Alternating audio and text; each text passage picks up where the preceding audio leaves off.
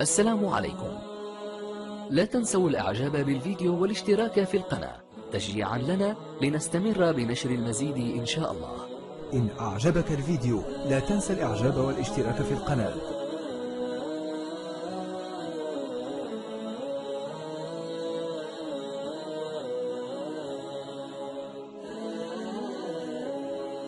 بسم الله الرحمن الرحيم. الحمد لله رب العالمين والصلاة والسلام على مولانا رسول الله وعلى آله وصحبه أجمعين. أيها الأحباب الكرام السلام عليكم ورحمة الله تعالى وبركاته. أرحب بكم دوما في كلام طيب وأطيب الكلام كلام الله رب العالمين. وما زلنا ننظر ونتأمل ونتدبر في آيات الله البينات في القرآن الكريم. ما زلنا مع سورة الأعراف نتعرف عن التاريخ البشري القديم. رسول الله سيدنا محمد صلى الله عليه وسلم لا زال في الفترة المكية والدين غريب وكان يحتاج إلى تثبيت الفؤاد. فكان ربنا عز وجل ينزل عليه الآيات كلها حول تثبيت الإيمان في القلوب. والتذكير بالبعث والنشور وغرس عقيدة التوحيد في النفوس. يزكي مولانا سبحانه وتعالى هذه المبادئ بسرد قصص الأنبياء والمرسلين. السلام عليكم. لا تنسوا الإعجاب بالفيديو والاشتراك في القناة. تشجيعا لنا لنستمر بنشر المزيد إن شاء الله. تعرفنا في سورة الأعراف على عدد كبير من المعطيات. سورة الأعراف كما ذكرنا هي من المفصل المطول في القرآن الكريم. ذكر فيها الله تعالى قصة إبليس مع أبينا وأمنا حواء وآدم عليهما السلام. وتعرفنا على قصة نوح وقومه وقصة سيدنا هود وقومه وسيدنا صالح وقومه وسيدنا لوط وقومه وسيدنا شعيب وقومه وما زلنا في قصة سيدنا موسى وقومه. قصة سيدنا موسى غريبة جدا. فيها فصول متعددة وفيها محطات مختلفة. تعرفنا في الحلقتين السابقتين عن الصراع الخارجي. سيدنا موسى يتصارع مع فرعون الذي تأله وقال أنا ربكم الأعلى. سيدنا موسى كان هدفه الأول أنه يهدي فرعون وما معه لله رب العالمين. لكنه لما يئس من هذا الأمر هو سيدنا موسى لم يبعث للعالمين وبعث لقومه خصوصا من بني إسرائيل. حينما امتنع فرعون عن الإيمان بالله تعالى وملئه موسى قال هذا شأنك الخاص لكن اعطني بني إسرائيل يخرجون معي. ائذن لبني إسرائيل بالخروج ما يسمى عند اليهود في التوراة بسفر الخروج. ائذن لنا بالخروج. هذا هو المطلب الأساس الذي كان يركز عليه سيدنا موسى حماية قوم بني إسرائيل وأن يأذن لهم فرعون بالخروج من مصر ليذهبوا إلى الأرض المقدسة التي وعد الله فيها وعدهم بأنهم سوف يسقون لبنا وعسلا. وختاما تعرفنا كيف بقي الصراع بين فرعون وملئه وبين سيدنا موسى الكليم مع رب العالمين فكانت النهاية هي غرق فرعون وجنوده ونجا بنو إسرائيل مع سيدنا موسى. بعد عقود طويلة من الزمن قرون طويلة من الذل والهوان والظلم والبهتان تعرض لها الإسرائيليون في العهود القديمة في مصر ها قد جاء الأوان وقد اختار الله تعالى نبيا هو سيدنا موسى الزعيم القوي الذي عنده الثبات في الموقف استطاع أن ينقذ بني إسرائيل من هذا التاريخ الطويل كله اضطهاد وكله ظلم وكله ذل وهوان. الآن وقد خرجوا سيروحون إلى مكان آخر هنا سيدنا موسى سوف يواجه مشكلة أخرى أخطر. المشكلة الأولى تسمى الخطر الخارجي. الآن الخطر الداخلي أكثر بكثير. ثم سوف يواجه الخطر الذاتي. الأخطار أنواع ثلاث. الخطر الخارجي هو للعدو. عدوك خارجيا قد يواجهك بكل الوسائل. لكن يبقى دائما في الدرجة الثالثة. هناك خطر أخطر وهو. العدو الداخلي وهو هو بنو جلدتك. القوم فيما بينهم سوف يكون من بينهم عناصر فاسدة. سوف تطبط الهمم سوف تأتي بآراء آراء مخلة وسوف يتفرق الصف. ثم هناك الخطر الذاتي وهو النفس البشرية. نفوس بشرية مقربة مريضة وسقيمة. هذا ما سوف يواجهه سيدنا موسى عليه السلام. متاعب كثيرة وكثيرة واجهها نبي الله الكريم موسى عليه السلام بعد أن انتصر على فرعون وقد استمر 23 سنة وهو في مصر في صراع مرير.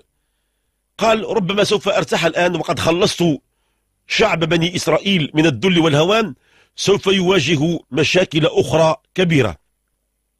القرآن الكريم يقصها علينا باليقين.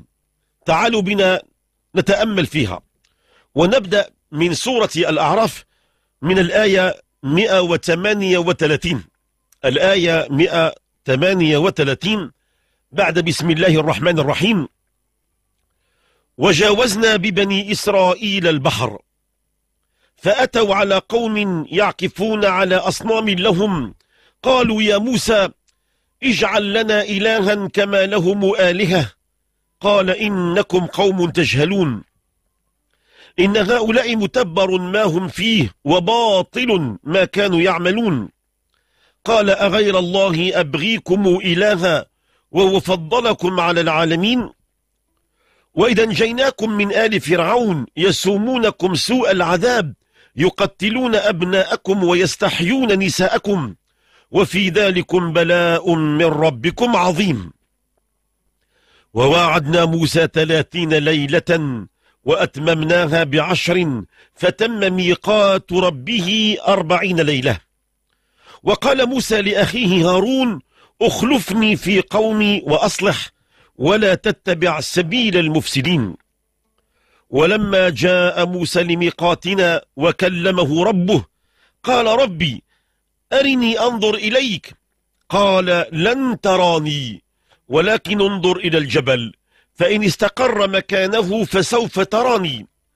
فلما تجلى ربه للجبل جعله دكا وخر موسى صعقا فلما أفاق قال سبحانك تبت إليك وأنا أول المؤمنين.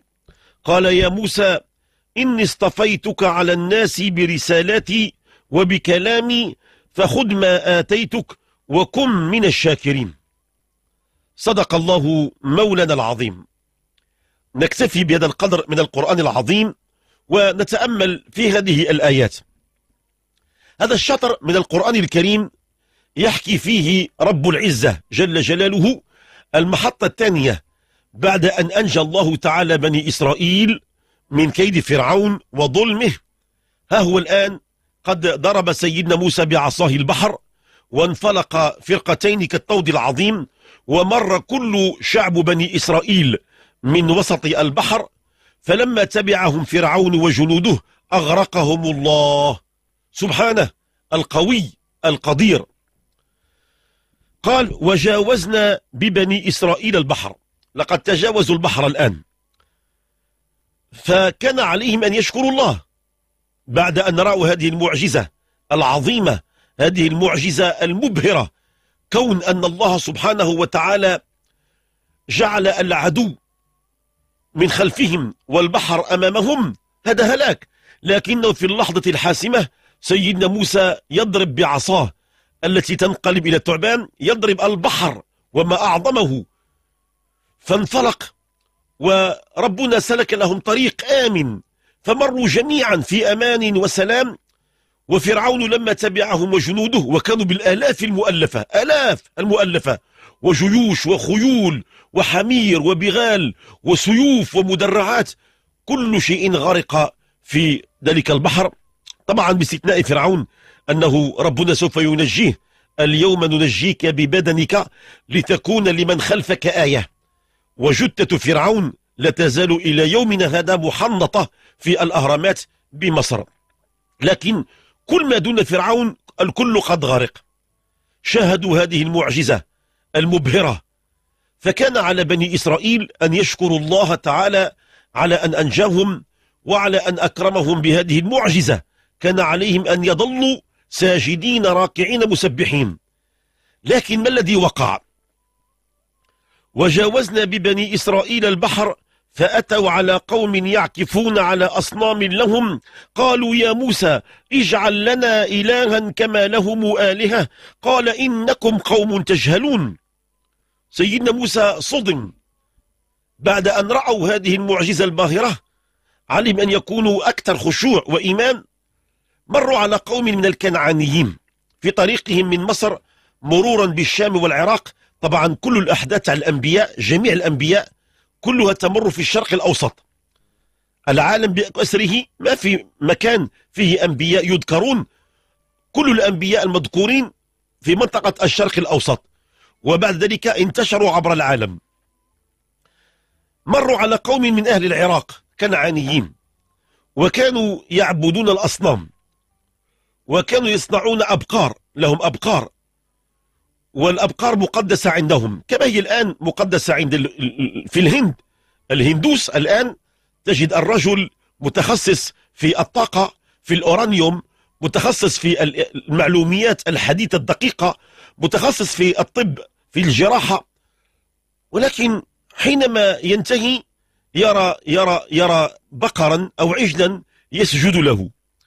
غريب هذا المنطق العقلي. هذا الأمر كان أيام زمان ولا زال إلى عصرنا هذا. رآهم يعكفون على على أصنام هم عبارة عن أبقار فقالوا يا سيدنا موسى يا كريم الله عندنا لك طلب. قال اطلبوا. قالوا له يا موسى هل جعلت لنا إله كما لهم آلهة؟ نحن نريد أيضا أن تكون عندنا آلهة عبارة عن أصنام وعبارة عن عن عن عن هذه الأبقار. سيدنا موسى غضب فقال إنكم قوم تجهلون. هذه منتهى الجهالة. لقد رأيتم معجزة الله. عليكم أن توحدوا الله وحده لا شريك له. ثم قال هؤلاء القوم ما عندهم نبي وما عندهم رسول. كانوا من الكنعانيين من آه، في الصحاري.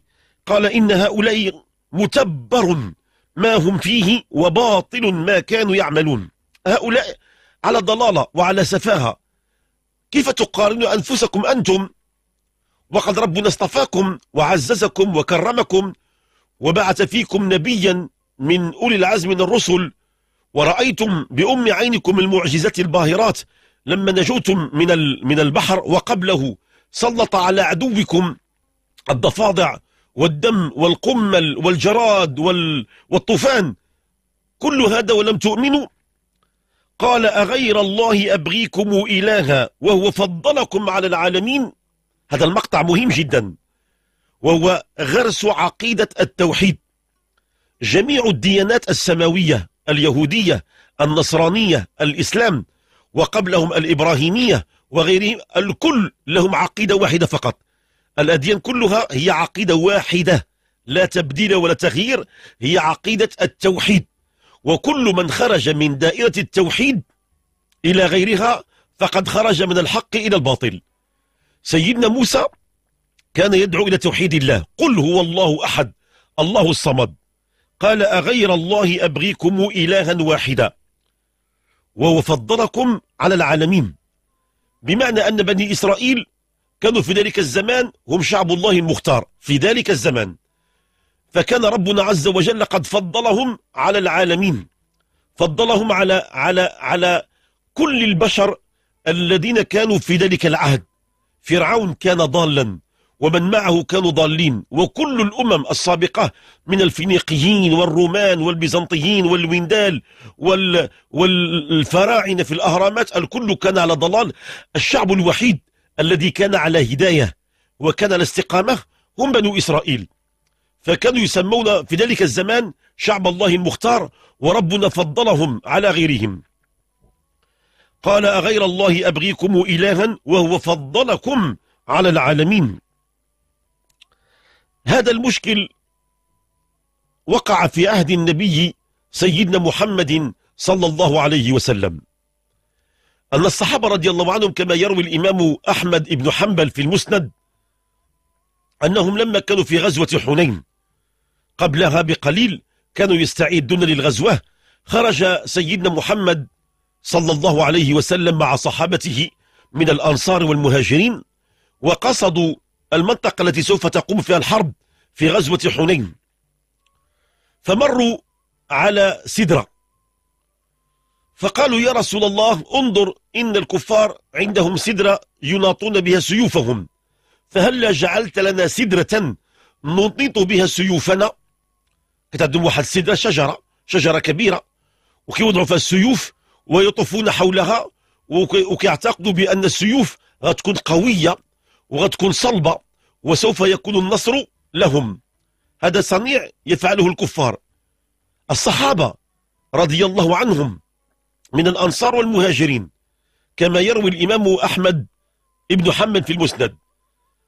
طلبوا من النبي الكريم هذا الطلب الغريب فغضب سيدنا رسول الله صلى الله عليه وسلم وقال أتريدون أن تسألوني كما سأل بنو إسرائيل موسى عليه السلام؟ بنو إسرائيل لما مروا على قوم يعكفون على أصنام قالوا يا موسى اجعل لنا إلها كما لهم آلهة أتريدون أن تفعلوا مثل بني إسرائيل؟ وغضب النبي سيدنا محمد صلى الله عليه وسلم ثم قال لتتبعن سنن من كان قبلكم شبرا بشبر وذراعا بذراع حتى ولو دخلوا جحر ضب لاتبعتوهم وهم. قالوا من يا رسول الله؟ قال اليهود والنصارى. قال فمن؟ سيدنا رسول الله صلى الله عليه وسلم أراد أن ينتزع من قلوب أصحابه هذا التفكير المعوج. تفكير جميع الأنبياء وجميع المرسلين كان هو توحيد الله والطلب لا يكون إلا من عند الله. لأن الله تعالى وحده لا شريك له. هو الأول في الوجود الآخر في الخلود المطلق عن الحدود. الضر والنفع من عند الله المنع والعطاء من عند الله الكل من عند الله. أما البشر فلا يمكن. للأسف هذا الأمر حتى في عصرنا هذا قد نجد مثقفين أو أشباه مثقفين. ويعتقدون بخرافات وأساطير ويتمسحون على أضرحة ويطلبون المعونة من أناس مدعين للبركة. فالمثقف الحقيقي هو صاحب الإيمان القوي الذي يؤمن بأن لا نطلب ولا نتوسل ولا نعبد إلا الله وحده لا شريك له. قال أغير الله أبغيكم إلها وهو فضلكم على العالمين. وإذا أنجاكم من آل فرعون يسومونكم سوء العذاب يقتلون أبناءكم ويستحيون نساءكم وفي ذلكم بلاء من ربكم عظيم. سيدنا موسى ستأخذه الغيرة نطق بالغيرة. لقد غار على الله أعظم غيرة أنك تغار على الدين. هناك من يغار على أنتاه هناك من يغار على فريقه الرياضي هناك من يغار على علمه الوطني. كل واحد له رغبته لكن أعظم غيرة حقيقية الغيرة على الدين. سيدنا موسى غار على على الله سبحانه وتعالى وبدأ يدافع عن ربه. فذكر بني إسرائيل بالواقع المرير. هم الآن قد نالوا الحرية وصاروا أحرار وخرجوا من بلاد الذل والهوان كانت في مصر. الآن هم في طريقهم إلى الأرض المقدسة وقد مروا بأرض كنعان. الآن وهم في عزة. الآن هم في شنآن عظيم. فذكرهم بالماضي المظلم. وإذ أنجاكم من آل فرعون. ليس من فرعون من آل فرعون. لأن قد مر فراعنة فراعنة متعددون مروا في التاريخ كلهم عذبوا بني إسرائيل. كل فرعون كان أشد عليهم من أدولف هتلر. كان شديد عليهم. مروا سنين طويلة. آل فرعون مجموعة فراعنة كلهم. وإذا أنجاكم من آل فرعون يسومونكم سوء العذاب. تعذبوا كثير هؤلاء الأقوام. عذابهم كيف كان يتجلى يقتلون أبناءكم. كان كلما زادوا الأبناء الذكور يقتلونهم ويتركون النساء. وبعد مدة قال ويستحيون نساءكم. النساء يستحيونهم. لا زوجات ولا أي شيء. يأخذ المرأة وتكون شابة وجميلة ويفعل بها ما يشاء. حر. القانون لا يعاقبه. والدين لا يعاتبه. وكان بنو إسرائيل يرون هكذا بأم أعينهم. الرجل يرى ابنته تستحيا ولا يحق له أن يتكلم ويرى زوجته وأخته وأمه ويسكت وإذا نطق يسجن. وإذا إذا, إذا تمرد يقتل. يقتلون أبناءكم ويستحيون نساءكم وفي ذلكم بلاء من ربكم عظيم. قال يا بني إسرائيل لقد سلط الله عليكم البلاء أيام زمان وكان بلاء عظيما. الآن أنتم في نعمة. ربنا أكرمكم واصطفاكم عن العالمين وجعلكم شعبه المختار وجعل فيكم نبيا من أولي العزم من الرسل سيدنا موسى وأعطاه القوة وأعطاه القدرة على أنه سوف يقود يقودكم جميعا إلى بر النجاة. ثم بعد مدة سيدنا موسى سوف يختلي مع ربه. الأنبياء والمرسلون لابد أن تكون لهم خلوة مع الله. كما ينبغي أيضا للأولياء أن تكون لهم خلوة مع الله. وينبغي للعلماء والفقهاء والصالحون والمصلحون أن تكون لهم خلوة مع الله. من أراد أن يتزعم يتزعم البشر وأراد أن يقود الشأن العام وأراد أن تكون له كلمة مسموعة وتأثير قوي لابد له من مؤهلات.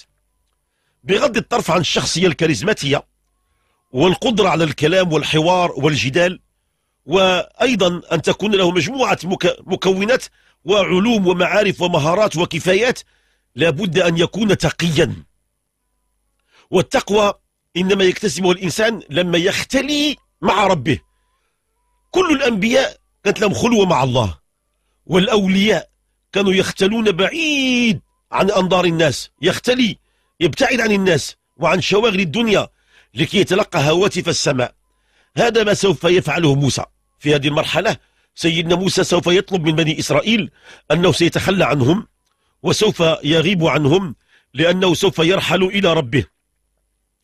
ووعدنا موسى ثلاثين ليلة وأتممناها بعشر فتم ميقات ربه أربعين ليلة.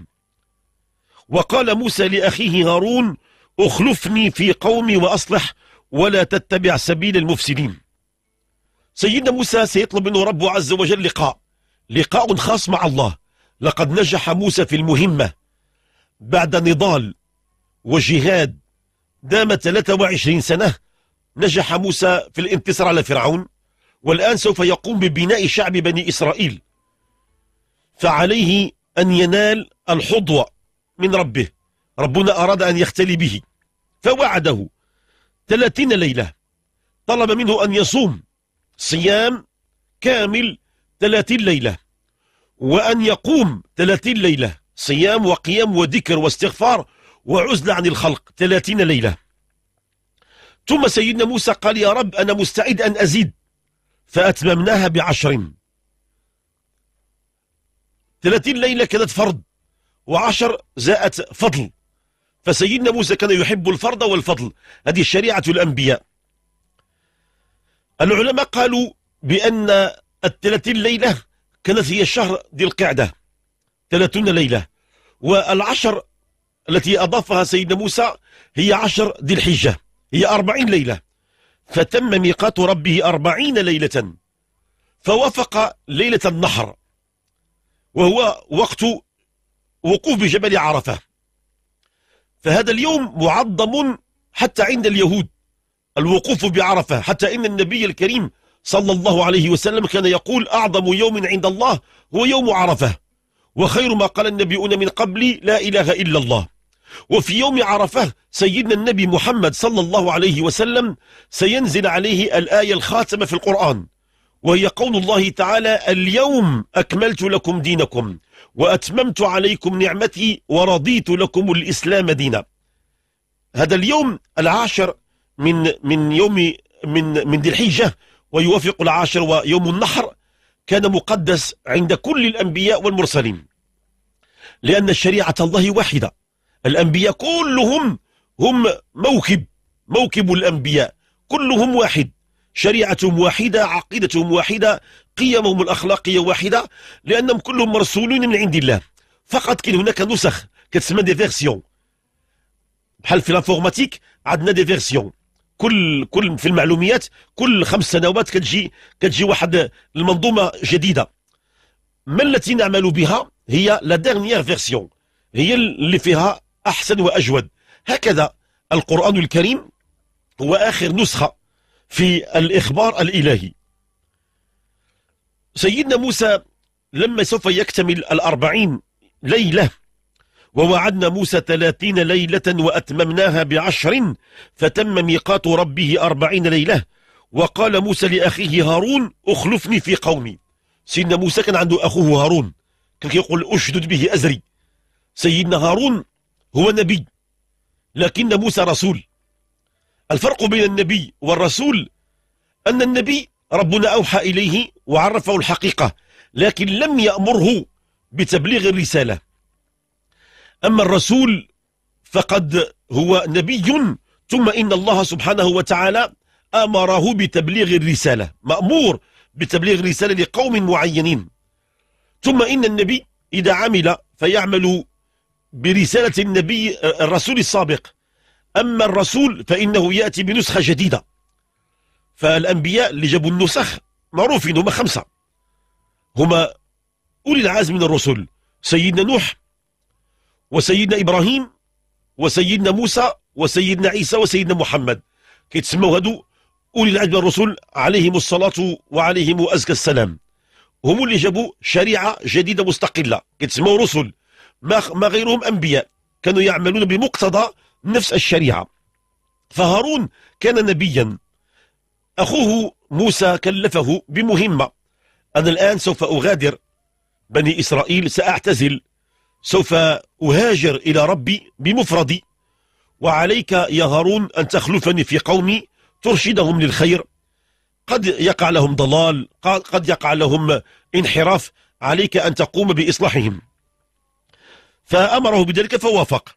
وقال موسى لأخيه هارون أخلفني في قومي وأصلح ولا تتبع سبيل المفسدين. حذره قال لي راه عندك. راه غادي يكونوا واحد القوم واحد الشلة واحد الجماعة واحد الكوكبة مفسدين وسط أي جماعة صالحة. هناك جماعة مفسدة. وغتثير البلبلة وغتثير غتثير الجدال وغتوقعك في الخطأ. احذر يا يا هارون اتبع سبيل المصلحين ولا تتبع سبيل المفسدين.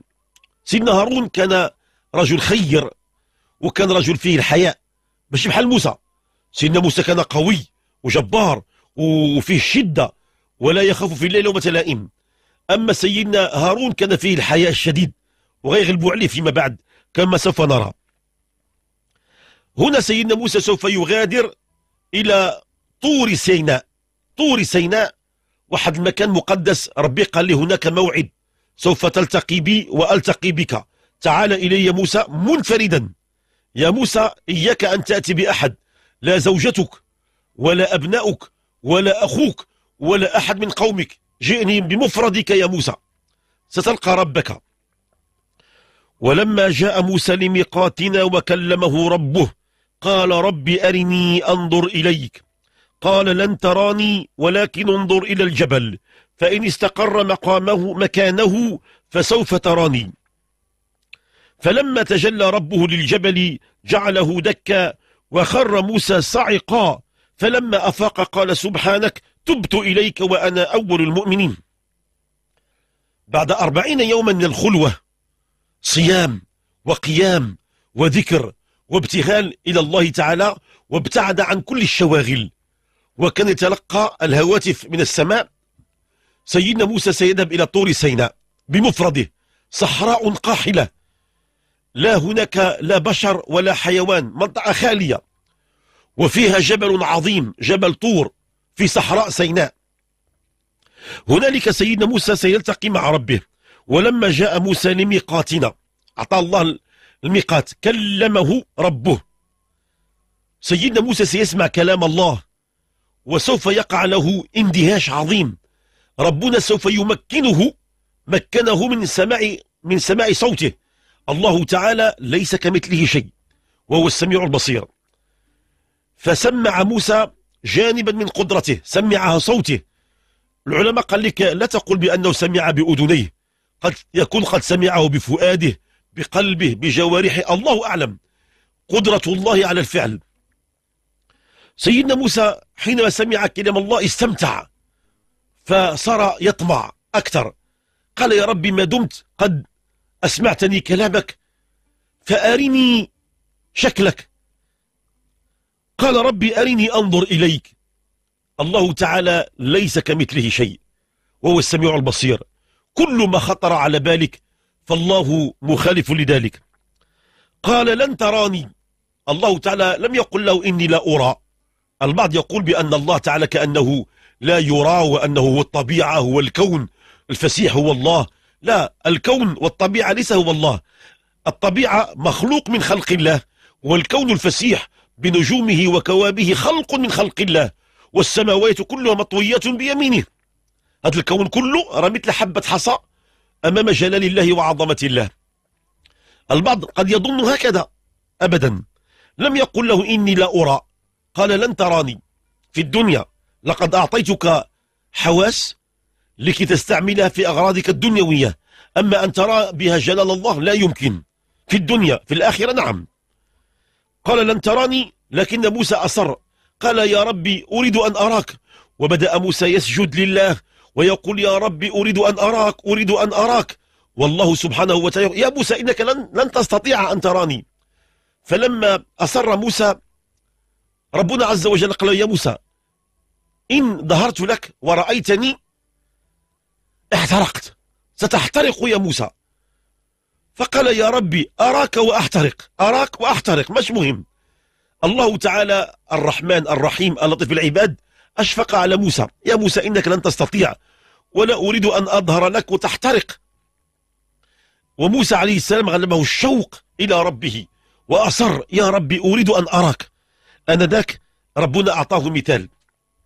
قال له لن تراني ولكن انظر إلى الجبل. فإن استقر مكانه فسوف تراني. جبل عظيم جبل طور جبل كبير ضخم قمة عالية. ومعلوم في علم الأركيولوجيا أن كل جبل إذا كان علوه مهما كان معنى ذلك أن, أن عمقه ضعفين.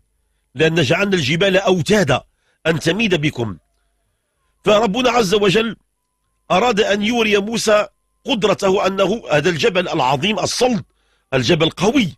أنت يا موسى لحم وشحم وعصاب ودم و... لا تستطيع. أما هذا حجر فأراد ربنا أن يتجلى للجبل. قيل بأن الله تعالى تجلى للجبل من وراء ألف ألف ألف ألف ألف ألف حجاب سبعة ألاف. الله تعالى أراد أن تجلى للجبل. تجلى له ليس من وراء حجاب لا. من وراء ألف ألف ألف ألف ألف حجاب. سبعة آلاف حجاب. ثم ظهر الجبل على مقدار عين الدابة. يعني عين عين مبصرة جارحة قد العين.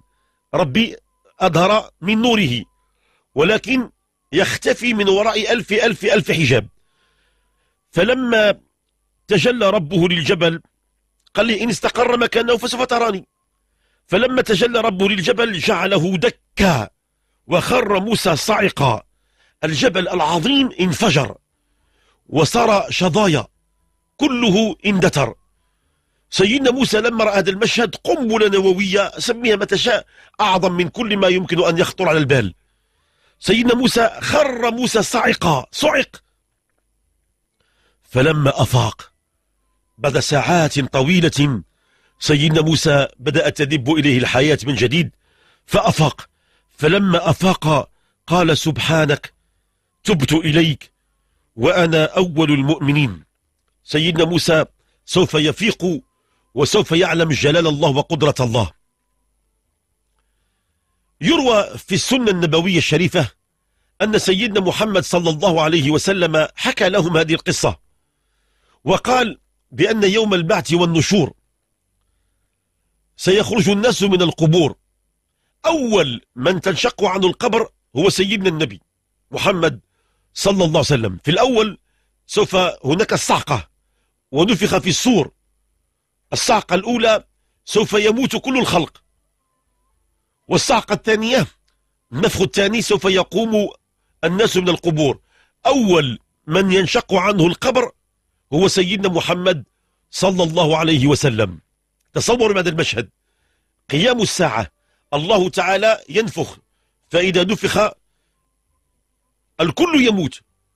وبعد مدة ربنا يأذن بالحياة من جديد فنفخ في الصور فإذا هم قيام ينظرون. أول من يقوم سيدنا محمد صلى الله عليه وسلم. فيقول سيدنا النبي ولما أفقت وجدت بأن موسى لم يصعق موسى النبي بني إسرائيل لم يصعق فقالوا لعل الله تعالى أعفاه من الصعقة التي طلب منه أن يراه فصعق هذه الصعقة هذه. فلما تجلى ربه للجبل جعله دكا وخر موسى الصاعقة. هذه الصعقة قوية على سيدنا موسى. فربنا عز وجل أعفاه من الصعقة يوم القيامة. كل الخلق سيصعقون. باستثناء موسى عليه السلام من بني إسرائيل لأنه ذاقها وهي قوية. فلما أفاق ماذا قال؟ سبحانك. سيدنا موسى كان كثير التسبيح. كان يسبح لله بكرة وأصيلا. سيدنا موسى لم يكن يفتر من التسبيح. في كل وقت وحين سبحانك سبحانك ما أعظم شانك. أين محل وارتحل إذا رأى كوكب إذا رأى نجم إذا رأى قمر وشمس سبحانك سبحانك. إذا رأى شجر سبحانك. إذا رأى حوت في البحر يقول سبحانك. إذا رأى بشر يقول سبحانك. إذا رأى حشرات في الأرض سبحانك. سيدنا موسى لم يكن يفطر من التسبيح. قال سبحانك تبت إليك وأنا أول المؤمنين. بفضل هذا التسبيح سيدنا موسى سار عاشقا لله. مقام رفيع من مقامات التدين. وأنه ليس مجرد عابد عاشق. فرق بين العابد والعاشق. العابد تجده يعبد الله تعالى ويخاف من عقابه وشدته لكن العاشق يهيم حبا في الله سبحانه وتعالى. هكذا صار سيدنا موسى الكليم قال سبحانك تبت إليك وأنا أول المؤمنين. قال يا موسى إني اصطفيتك على الناس برسالتي وبكلامي فخذ ما آتيتك وكن من الشاكرين. فسيدنا موسى سوف يأخذ ما أعطاه الله تعالى لكي يبدأ في بناء المجتمع مجتمع بني إسرائيل مجتمع هذه الأمة التي أرادها الله تعالى في ذلك الزمان أن تقوم بدور الخلافة. خلافة الله فوق الأرض وتنشر القيم الإنسانية. ماذا سوف يعطيه الله تعالى؟ سيعطيه الألواح وكتبنا له في الألواح من كل شيء موعظة وتفصيلا لكل شيء. إن شاء الله في الحلقة المقبلة سنتحدث عن الألواح التي أوتيها موسى. ماذا كانت تتضمن من تعاليم وماذا كانت تتضمن من مفاهيم وكيف استقبلها قومه من بني إسرائيل وكيف حال الألواح اليوم؟ هناك عند اليهود عندهم التوراة وعندهم الألواح وعندهم التلمود وعندهم المشنة. هذه مصادر الفكر الديني عند اليهود إلى زمننا هذا المعاصر وإلى قيام الساعة. فسوف نتعرف عليها من كلام الله تعالى القرآن العظيم. خلاصة الفكرة أيها الأحباب الكرام أن سيدنا موسى كان عابدا فصار عاشقا عاشقا لله. الأنبياء من أولي العزم من الرسل هم عباد زغاد عاشقين. هذه المرتبة كان بعض الصالحين من البشر من عامة البشر يريد أن يصل إليها. ماذا يفعل؟ كان بعض الأولياء لأن النبوة انتهت الأنبياء انتهوا مع سيدنا النبي وقد قال صلى الله عليه وسلم لا نبي بعدي. لكن هناك الأولياء وهناك الصالحون وهناك المجدوبون جدبتهم رحمة الله تعالى. هؤلاء يريدون أن يصلوا إلى المقام الذي وصل إليه الأنبياء هو مقام العشق الإلهي. الإنسان يكون عاشقا لله. كيف تصير عاشقا لله؟ طبعا هو أنك ترى الوجود كله يدل على على الخالق. الوجود كله. كل ما في الوجود يدل على أن الله تعالى موجود. ومتى غاب حتى يسأل عنه؟ سبحانه وتعالى. العاشقون في الله لا ينتظرون إلى يوم القيامة ليروا ربهم لأن الرؤية في الدنيا مستحيل لكن في الآخرة ستكون وجوه يومئذ ناظرة إلى ربها ناظرة. للذين أحسنوا الحسنى وزيادة فسرت هي النظر إلى وجه الله. وسيدنا النبي محمد صلى الله عليه وسلم قال سترون ربكم يوم القيامة كما ترون القمر ليلة البدر لا تضامون في رؤيته. الكل كل المؤمنين سوف يرون ربهم. كل المؤمنين رؤية الله في الدار الآخرة. لكن في الدنيا هنا هل يمكن أن ترى جلال الله وعظمة الله؟ أي نعم. كيف ذلك؟ إذا ارتقيت من درجة العبودية لله إلى درجة العشق الإلهي. قد وصل إليه بعض الصالحون حتى من النساء. يقال بأن رابعة العدوية صارت إلى مذهب العشق الإلهي والمحبة الإلهية. وصلت إلى هذا المقام. كيف ذلك؟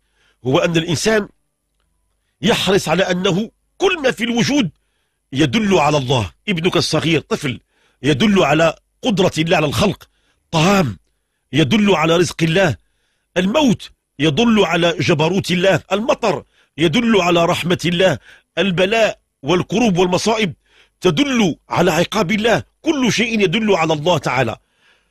وأنك لا تعظم الدنيا. من أراد أن هذا المقام عليه أن لا يعظم الدنيا. هل لحظة؟ قول أي حاجة ديال الدنيا كتشغل لي الفكر ديالي. أنا ما عندي خدمة أنا ما عندي فلوس أنا ما عندي زهر أنا ظلموني أنا عندي قضية في المحكمة أنا عندي قضية كذا كذا أنا الاختيارات اللي في حياتي كلها كانت باطلة. كل هذا نقطة نهاية. اغلق الباب. اغلق كل شيء.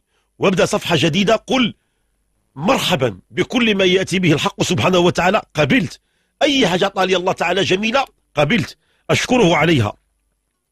إذا كانت قبيحة فأقول أصبر عليها. تتحول من القبح إلى إلى الجمال. لذا آخر ما قاله ربنا عز وجل لموسى يا موسى إني اصطفيتك على على الناس برسالتي وبكلامي وخذ ما آتيتك وكن من الشاكرين.